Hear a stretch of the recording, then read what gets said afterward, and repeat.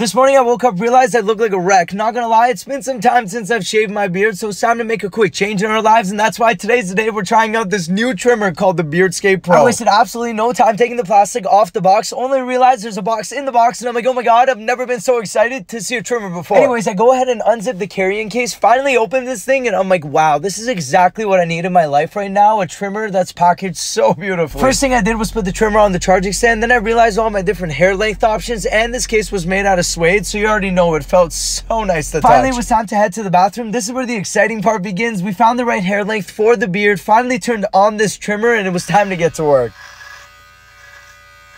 10 minutes later, I look in the mirror and I'm halfway done. Literally half of my face is all finished. It looks pretty great. And the other side, yeah, it's not looking too great. Then it was time to take the trimmer head off. Spent a little bit of time aligning the beard. It was time to hop inside the shower. I finally got out and honestly, this thing did a really good job. I highly recommend it to everybody.